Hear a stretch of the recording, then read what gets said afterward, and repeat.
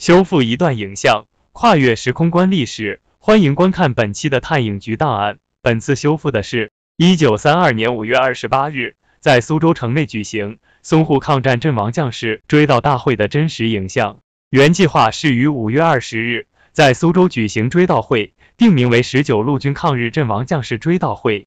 但参会各界代表纷纷表示二十日过于匆忙，碗品尚未备好。因此，纷纷致电蒋光鼐、蔡廷锴，要求推迟一点时间。经商议，决定延期至二十八日举行，刚好作为战争爆发四个月纪念。同时，追悼会也更名为淞沪抗日阵亡将士追悼大会，以此告慰在此次战争中同样付出牺牲的友军。五月十九日，国民政府行政院即向全国颁发号电，第十九路军定于本月二十八日。